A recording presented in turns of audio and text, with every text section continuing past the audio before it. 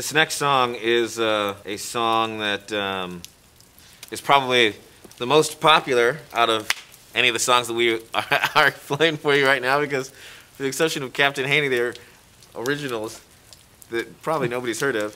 And probably not many of you have heard Captain Haney either. But um, this song is much more familiar. John Henry is the name of the tune. We got this version, though, from uh, a couple of uh, northern Mississippians, and uh, Lucius Smith and uh, Sid Hemphill. And they performed this song in kind of the hill country, um, old time dance way. So, uh, you know, the, if you ever talk to Lucius Smith, so said his grandson, Hal Reed, he said, you know, his, uh, his grandpa never played the blues. He would have never said he played the blues. Uh, so this would have been dance music specifically, stuff to lift your soul. Although, I guess we play with a little bit of a lilt. The thing about John Henry, though, is, is that he was a real-time hero to a lot of people, and and the reason that the song is so popular is because it was able to it was able to transfer itself from the from the railroad industry, where it was conceived, um, into uh, you know, the turpentine farms and the coal mines and uh, the cotton farms and where people were singing about the same thing, uh, the same kind of like uh, torture in terms of uh, the labor that you were doing, but the idea that there was a machine out there that was going to take your place, that there was something out there that was going to make you obsolete, um, even though your, your, your pedigree in that, in that whole process anyways was close to nothing. Uh, so this is a song. Uh, this is our version of a, of a, another version of an old time song uh, of a real life American hero, John Henry.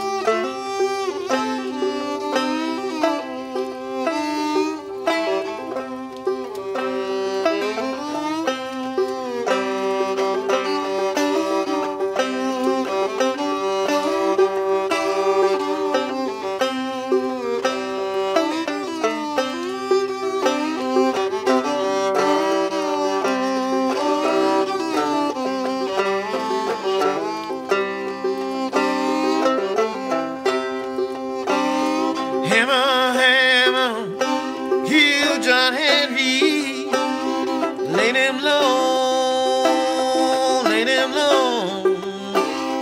Hammer, hammer, kill John Henry, lay them low. Take this hammer.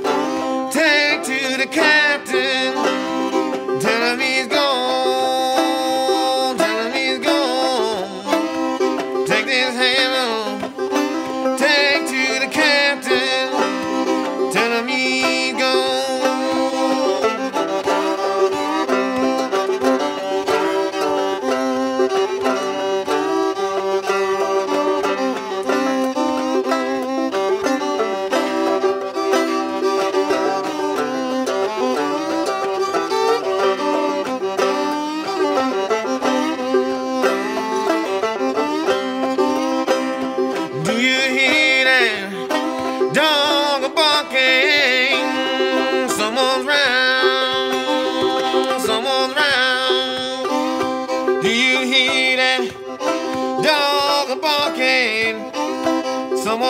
down.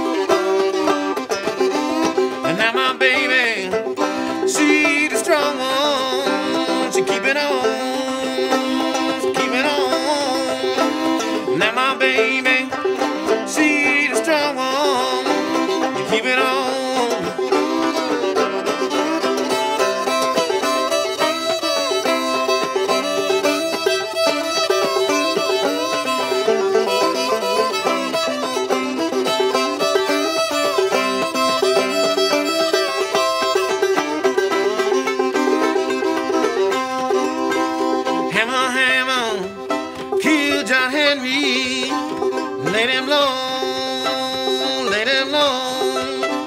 Hammer, hammer, killed John Henry, laid him low. And hammer, hammer, killed my brother.